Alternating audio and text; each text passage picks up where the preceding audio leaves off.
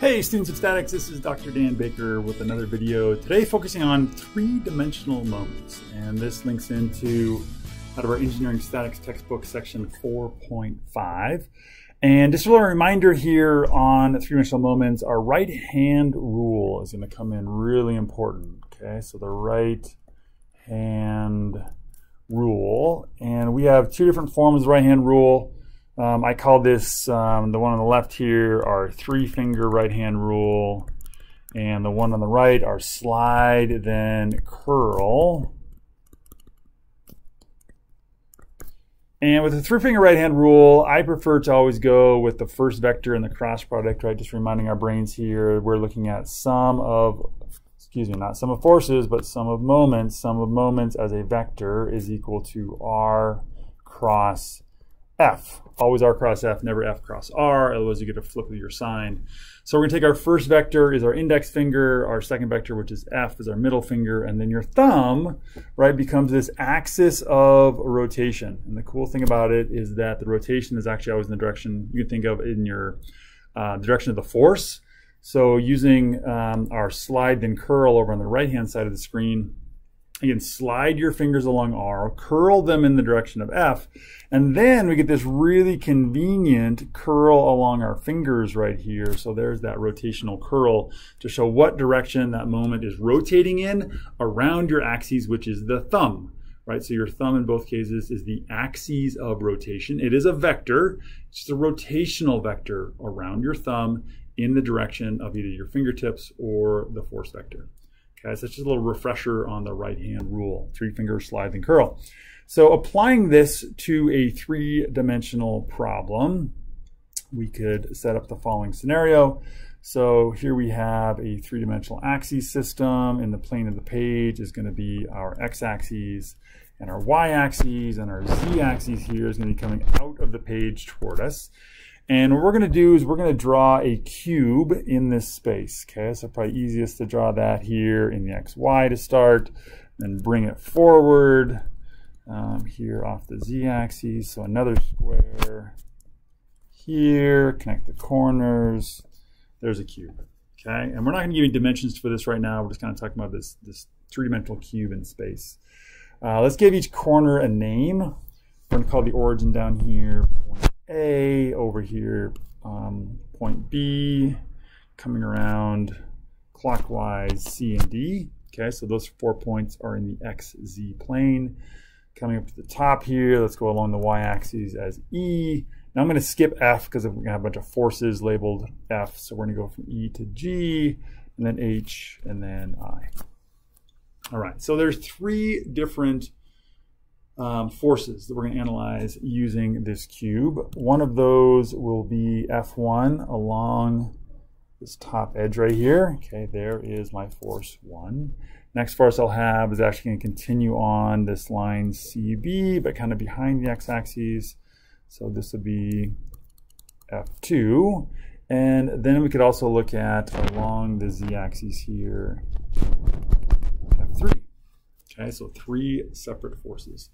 And on all of these, we are going to look at their sum of moments around point A. Okay, so um, looking at here on this example, in words, we want to find the moment arms in there, moment arms, and the moment vector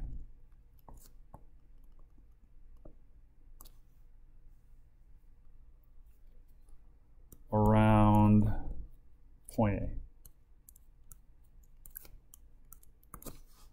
All right, and again, our moment equation, sum of moments as a vector is equal to R cross F and I guess officially, if I'm only talking about one moment at a time, I probably wouldn't throw in that moment, excuse me, I wouldn't throw in that summation yet.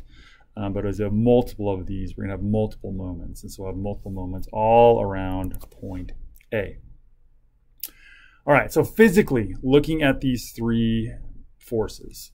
Uh, the first one we could look at here is force one. And so keeping in mind that our moment arm is our R vector, right, R cross F. And this moment arm always starts at our point of interest, which is point A, and it's going to finish the line of action of that force. Okay, so our first moment arm is going to go right up along this y-axis, and so this is going to be, we could call that R1. We could also call it, if we, call it if we wanted to RAE. That's the two points that it runs between. But that would be our moment arm, connecting our point of interest, point A, with the line of action of that force. And then for force 2, um, we need to connect again from point A over to that force.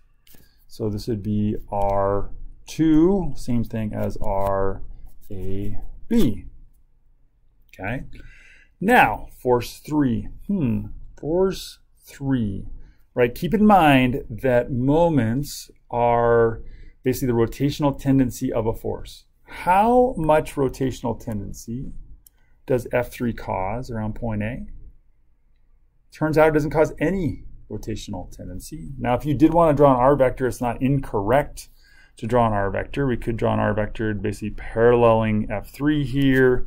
We could label that if we wanted to R3, which is the same thing as RAD. But when you cross two parallel vectors, right, keep in mind, moments come from cross products, cross two parallel vectors, um, cross products look for what is perpendicular. There is nothing that's perpendicular between R3 and F3. Therefore, there is no moment from F3. Now, that doesn't mean that F3 isn't still pushing on point A. It's still doing that, but it is not rotating around point A. All right, so let's go ahead and look at our overall equation um, for these, bringing this all into equation form. So sum of moments around point A is going to be equal to, uh, for F1, we have R A, E as a vector crossed into F1 for F2, we could put that in parentheses if we wanted to, um, plus um, um, AB, which is a vector crossed into F2. And then, I'm going to go on the next line here. Um, we have the moment from F3, which is basically zero. And I'll go ahead and write it out here. R, A, D crossed with F 3 as a vector. And we can just cross this out and say this goes to 0 as RAD is parallel to F3. And so if it's parallel, we'll get no moment um, out of that cross product. So that's how we to set those up. Now, let's take a look using our right-hand rule at the directions of these moments. Now, all these moments are going to come out of point A right here, all right? And I'm going to label the first one M1, right? That's going to be the moment out of force one. And then the other moment we have coming out of force two, we'll label that with M2. So let's look at M1 first. All right, so using either your three finger right hand rule or your slide and curl, see if you can go ahead and get the directions. Draw the vectors for the moment. Keep in mind that moment vectors we tend to draw with a double headed arrow. Okay, double headed arrow. And again, that, that conforms to your thumb, right? Your thumb in either the three finger or the slide and curl is that axis of rotation. So hit pause if you'd like to and go ahead and draw those vectors. Give them a, give them a shot. All right, so we're back from your pause, or you're a slacker and you didn't hit pause. Uh, all right, so if we then slide our fingers up along the AE line right here and then curl them over to the right, right? That's the direction that F1 is going. We find that my thumb is going to go into the screen. We're going to end up with a moment from 1. We could call this M1 vector, right? Uh, fundamentally, F1 causes rotation around point A, around an axis going through point A, and in the direction that um, basically F1 is pushing over um, to your right. Let's look at F2. So here again, we're going to slide our fingers, our three finger with our index finger over from A to B, and then pushing our um, pushing our fingers or pushing our middle finger into the screen, we're going to find out that the moment from 2 is actually going upwards right here. Okay, so this is M2. I'm going to move this M1 label a little bit just so I confusion between those labels. And so we have a bit of rotation essentially around the y-axis, a bit of rotation around the negative z-axis. Now with moment vectors, just like force vectors, you could, if you wanted to, go ahead and find a resultant vector. I'll put it in gray here just because we didn't ask about it. But we could put a double-headed arrow up in this direction and basically the total amount of rotational tendency from F1 and F2 is going to be on that diagonal back in that um, a bit of a y component and a bit of a negative z component.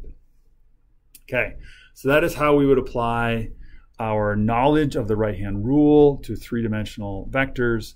Now, as we do this, the easiest way to do this mathematically is to actually do determinants for each and every one of these moments. Okay, so you'd set up a determinant for RAE crossed with F1, another determinant from RAB crossed with F2, and then you know basically take your full cross product, then collect together all of your x terms, all of your y terms, all of your z terms, and end up with the total moment around point A, right? Which would again represent that gray vector there, where we get multiple components in that resultant moment vector. All right, thanks for your hard work on this. Hope you're having a great day.